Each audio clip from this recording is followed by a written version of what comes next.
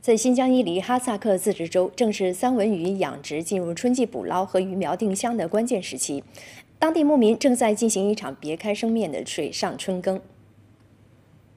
那我现在所在的位置呢，是在新疆伊犁哈萨克自治州尼勒克县的天运三文鱼养殖基地，这也是西北综合生产能力最强的冷水三文鱼基地。那它的面积呢，有将近十万亩，也是非常非常的大。那这儿的气候冷凉，所以它这个年平均的水温呢一直在十二度左右，非常适合冷水三文鱼的生长。那每天这里大约能出产十吨以上的鲜鱼，这些鲜鱼在经过迅速的低温处理之后呢，会以最新鲜的状态用空运运到全国各地去。这片养殖三文鱼的水上田园呢，其实可以说是一边在收获，那一边呢是在水上春耕。我们看那边呢正在进行春季的鱼苗。定箱就是每年春天的时候呢，养殖基地都会从自己的孵化中心里把长到十几、二十公分的这个小鱼苗运到这儿来，然后根据它的个头大小的不同，分成不同的等级，然后